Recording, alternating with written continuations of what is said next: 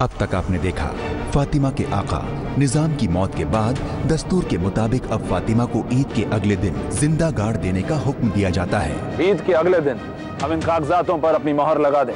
रजिया सुल्तान अल्तमश से फातिमा की जान की बख्शीश मांगती है। अब्बू बचा लीजिए फातिमा को। लेकिन रिवायतों के आगे सुल्तान के भी हाथ बंधे हुए हैं। सल्तनत के फैसले मर्ज़ी पे नहीं उसूलों पे किए जाते हैं। रजिया ठान लेती है कि वो कैसे भी फातिमा की जान बचा कर रहेगी लेकिन शमशाद रजिया की गुस्ताखी से खफा उसे कैद खाने में डाल देती है। कल सुबह का सूरज उगने तक तुम इस कैद खाने में बंद रहोगी।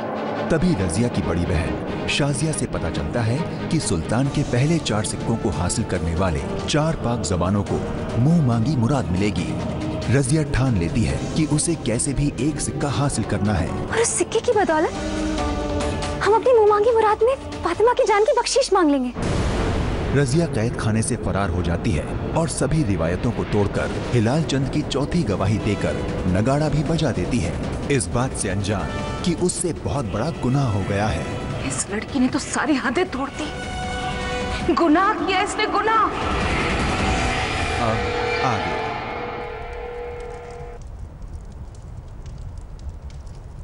आर्तन सरेआम ये ऐलान हो कि आवाम में से अभी कोई भी रुखसत नहीं होगा, क्योंकि चाँद की गवाही अभी पूरी नहीं है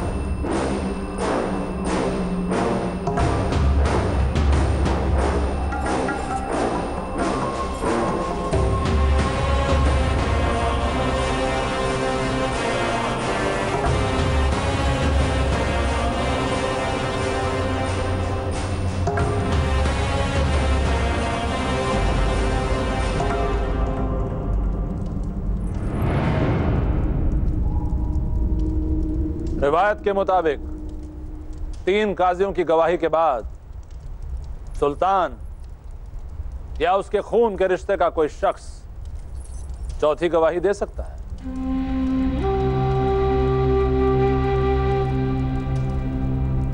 रजिया ने जो किया, वो एक संगीन गलती ज़रूर है, लेकिन जुर्म नहीं।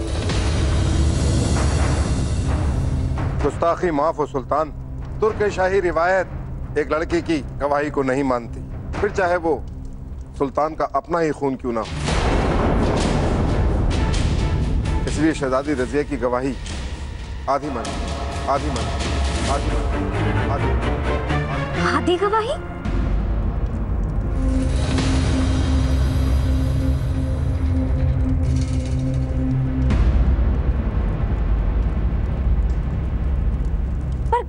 गवाही तो चार लोगों की हुई थी ना? तीन काजी और एक हम।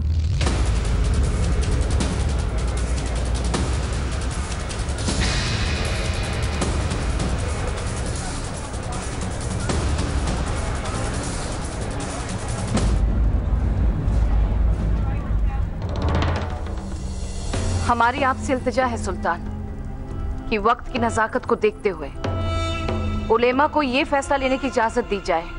ये आदि गवाही, उन्हें कबूल है या नहीं? पर मेरी गवाही आधी कैसे? क्या काजियों की और मेरी नज़र में कोई फ़र्क?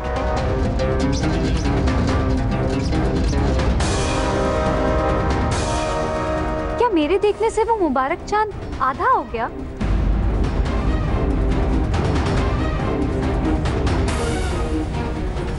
सब लोग ये फ़र्क क्यों कर रहे हैं? क्योंकि लड़कियों का हम सब की नज़र में कोई वजूद नहीं होता।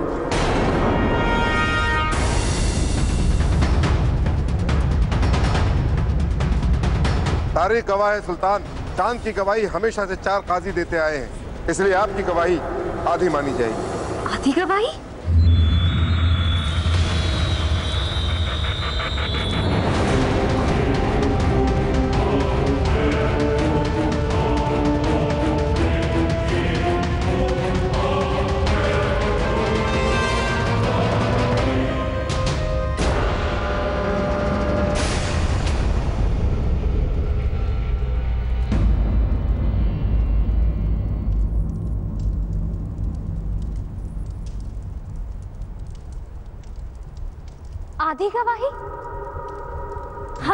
सभी मोहतरम से ये पूछना चाहेंगे कि क्या ये गुनाह नहीं है? कि एक पूरी लड़की को आधा बताया जा रहा है? क्या हमारा वजूद आपको आधा नज़र आ रहा है?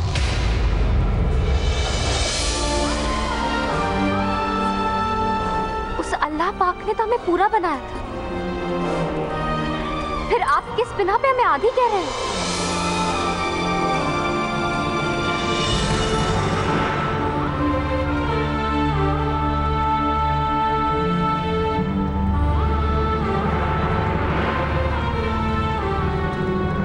कानूनन औरतों को आधा दर्जा दिया जाता है। इसलिए आपकी गवाही भी आधी ही मानी जाएगी, शहजादी। आपकी दलीलों से बरसों से चली आई हुई रिवायतें नहीं बदली जाएँगी।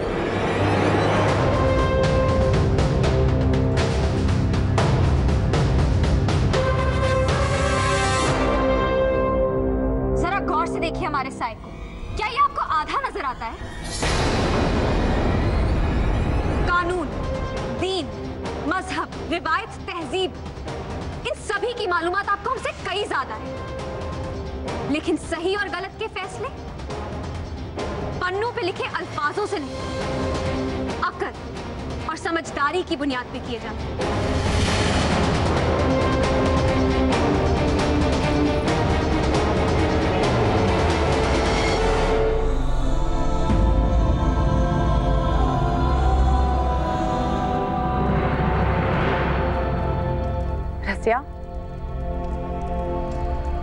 हो गया, तुम्हारा तमाशा अंदर आ जाओ।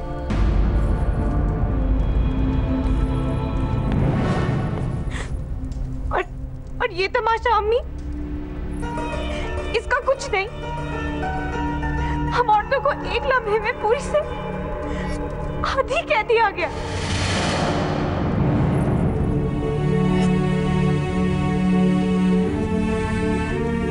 सरे आम जलील कर दिया गया। वो कुछ नहीं।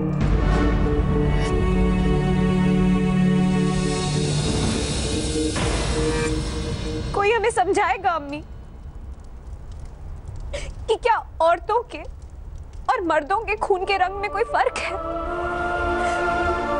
धड़कने वाला दिल हम औरतों का मोम का और और मर्दों का पत्थर का होता है।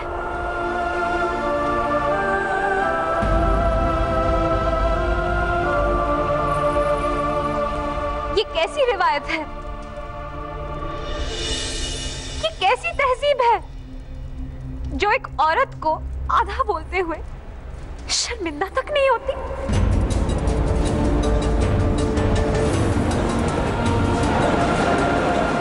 इस लड़की की बेमानी फरियादों को नजरअंदाज किया जाए।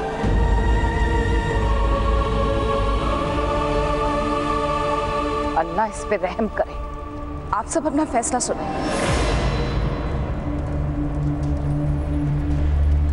शहजादी रजिया की गैर जिम्मेदाराना हरकत और उनकी नादानी से हुए खलल की वजह से अवाम तक गलत पैगाम पहुंचेगा। इसकी भरपाई के लिए सुल्तान अलतमश को सरेआम अपनी रियायत से मुआफ़ी मांगनी होगी मुआफ़ी मांगनी होगी मुआफ़ी मांगनी होगी मुआफ़ी मांगनी होगी।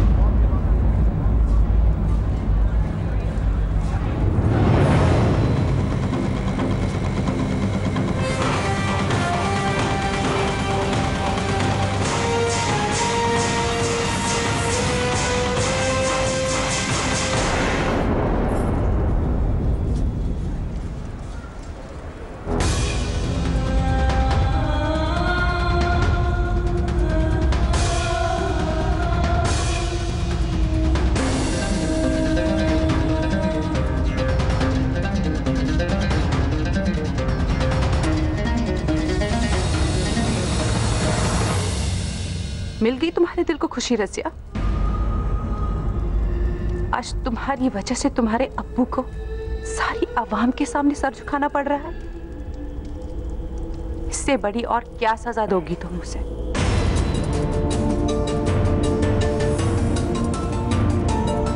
शाबाश रजिया बहुत खूब तोहफा दिया तुमने तुम्हारे अब्बू को ईद पे। अम्मी अब्बू माफ़ी मांगेंगे। ईद के दिन पे, पूरी आवाम के सामने, वो भी एक ऐसी गलती के लिए जो उन्होंने की ही नहीं। ये बात तुम्हें सोचनी चाहिए थी, रसिया। अगर तुम कैद तोड़ के ये तमाशा नहीं करती तो तुम्हारे अब्बू को ये शर्मिंदगी नहीं उठानी पड़ती। सुल्तान को सरेआम बेइज्जत करने की जिम्मेदार सिर्फ़ और सिर्फ़ तुम और कोई नहीं। तो फिर नानी जान हमारी गलतियों की सजा अब्बू को क्यों? अब्बू माफ़ी नहीं मांगेंगे।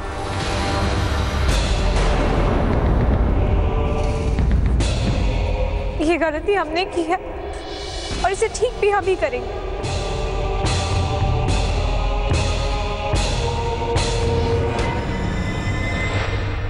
हम आधे ही सही।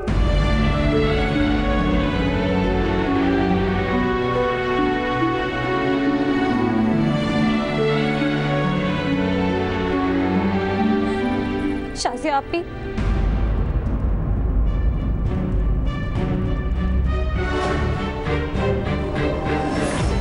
दादी जान के पीछे छुप के कोई हल नहीं निकलेगा शाजी आप भी बताइए सबको कि आपने भी हमारे साथ हिलाल चाँद का दीदार किया था। चाँद मुबारक आप। सिया तुम अब चौथी गवाही हमारी होगी। अल्लाह के लिए अपनी ज़ुबान खोलिए आप। भी बताइए सबको कि हम दोनों ने चाँद को साथ में देखा था। अगर आप गवाही देंगी तो तो आपकी गवाही भी आधी मानी जाएगी। फिर आपकी आधी और हमारी आधी मिलके पूरी गवाही हो जाएगी। अल्लाह के लिए अब्बू को सबके सामने बेइज्जत होने से बचा लीजिए। खबरदार रसिया, जिन गुनाहों से तुम्हें तौबा करनी चाहिए, उन्हीं गुनाहों के साय में तुम अपनी बहन को घसीट रही हो। अपनी नाफरमानी को इतनी हवा मत दो कि वो सुल्तान के तख्त पर आंधिया बनकर मंडराने। आंधियों का खौफ उन्हें होता है, जिनके तख्त व ताज हवाई किलों पे कायम हो। गुस्ताखी के लिए मुआफी चाहेंगे वालिदा सुल्ताना। इस अल्तमश के पाँव आज भी ज़मीन पर टिके हैं। गुनाह गुनाह तो यकीनन हुआ है। और उसकी सजा भी बेशक मिलेगी। लेकिन किसे? इस सल्तनत की शहजादी को या खुद सुल्तान को?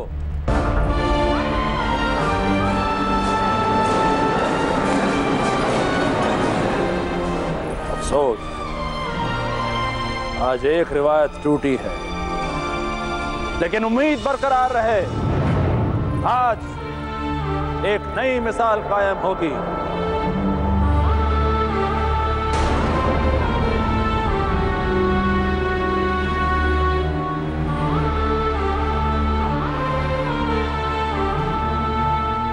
राणा मारतंड, अवाम के सामने ऐलान किया जाए कि हम बहुत जल्द उनसे रूबरू होंगे।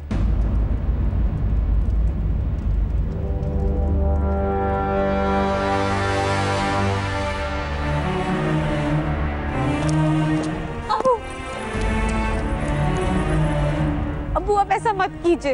हमारी गलतियों की सजा अपने आप को मत दीजिए।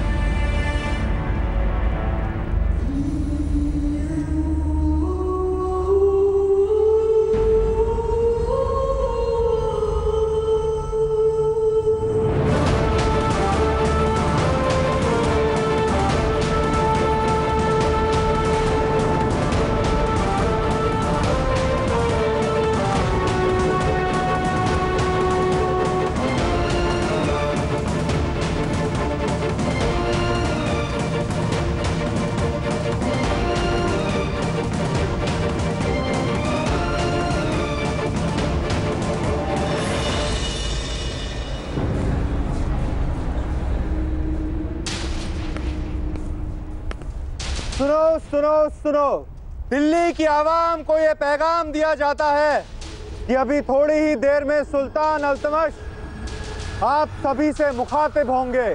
आज तो गजब ही हो गया। सुल्तान की जगह शहजादी रजिया ने आज ईद के जश्न का ऐलान किया।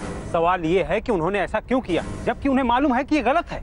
इसीलिए इसीलिए कहते हैं कि लड़कियों को सर इतना न चढ़ाओ कि वो ढोल बजाने लगे। बिल्कुल सही कह रहे हो। हाँ बिल्कुल सही। हमें आपसे ही उम्मीद नहीं थी। आपने हमारा साथ क्यों नहीं दिया?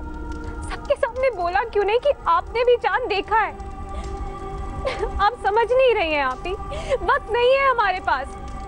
फातिमा के सर पे अब भी मौत की तलवार लटक रही है।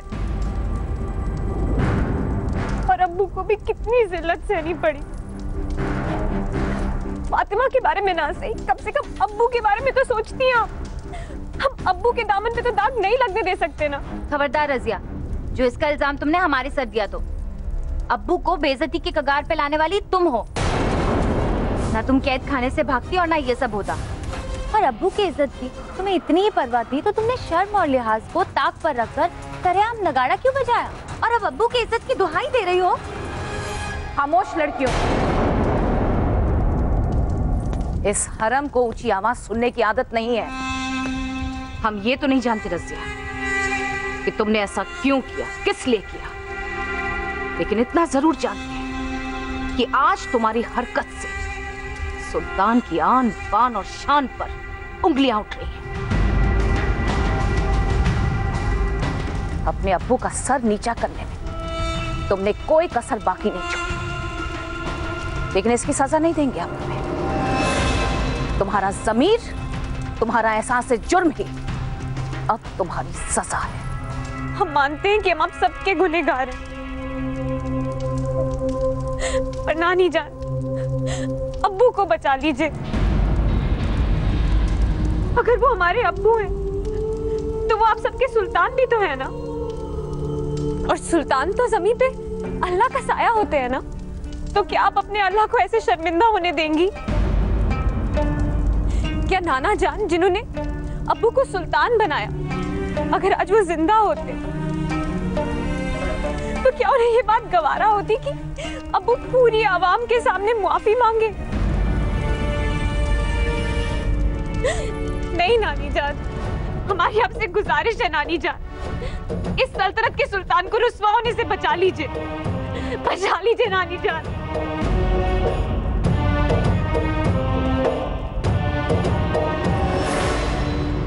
तुम्हारी लड़की तो गुस्ताखियाँ करती रहेगी। लेकिन हमारे जीते जी, हम सल्तनत की आबरू और इज़्ज़त को नीलाम नहीं होने देंगे।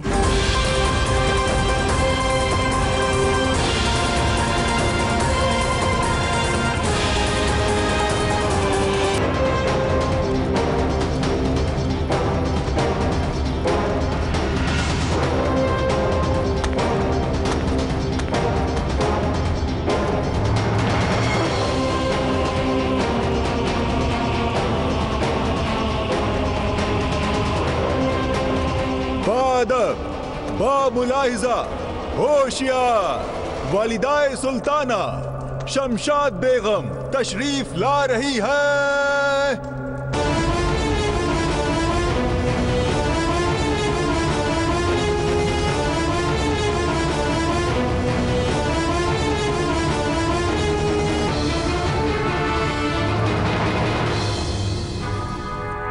हमारा सजदा कबूल कीजिए, सुल्तान। सलाम वालिदा सुल्तान। आप यहाँ?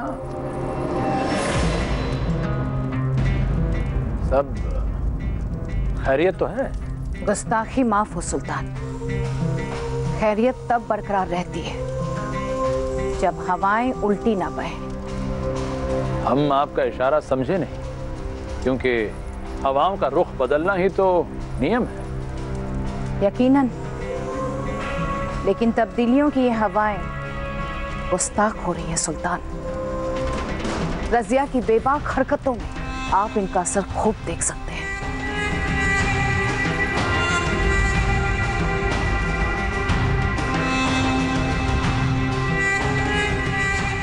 हमारी निगाहें जो देख रही हैं क्या आप भी वही देख रही हैं वालिदा सुल्तान? बात अगर नज़रिए की तो हमारी नज़र।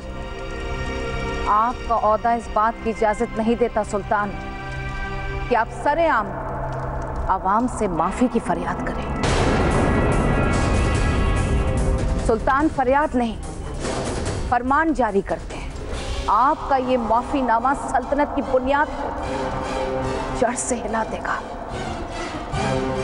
तो इस मसले के हल के लिए आप क्या राय देंगे? हमारा आशियाना चलता है। तो बेशक चला करें। इन हवाओं को रोक दीजिए। सवाल सारे चमन का है।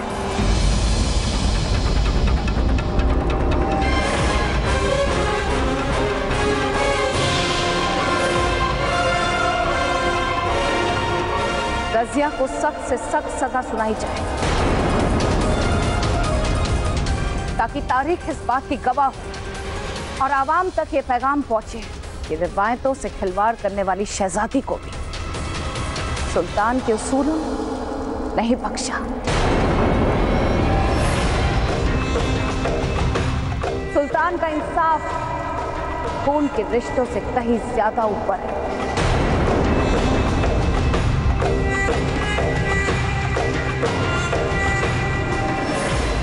अम्मी अम्मी हमें बहुत डर लग रहा है। अब क्या होगा?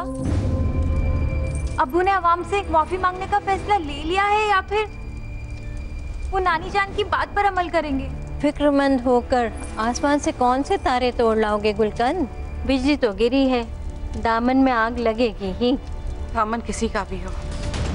चलना तो दोनों सूरतों में हमें ही है नानी जान। एक तरफ़ सुल्तान है हमारे शौहर। दूसरी तरफ़ रजिया, हमारी बेटी। एक सुल्तान अवाम से माफ़ी मांगेंगे तो इस सल्तनत की मल्लिका हार जाएगी। और अगर रजिया को सजा मिली तो एक माँ हार जाएगी। फ़िक्र मत करो कुतुब जान। हम सुल्तान अल्तमश के तौर तरीकों से वाकिफ हैं। जहाँ शमशाद बेगम की सोच खत्म होती है, वहाँ से सुल्तान अल्तमश की सोच शुरू होती है।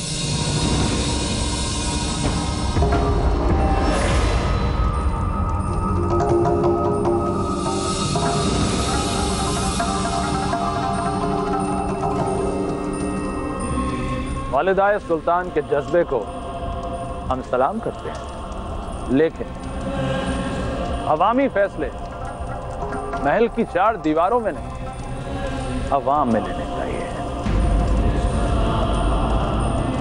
आज तक जिन लोगों ने गुनाह किया है, उनकी सजा एक सुल्तान ने दी है।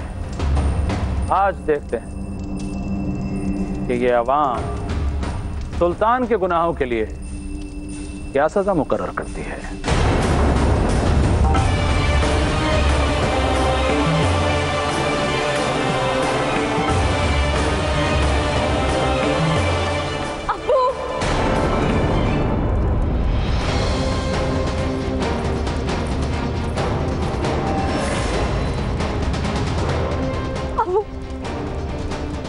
हरगिज मत कीजिए।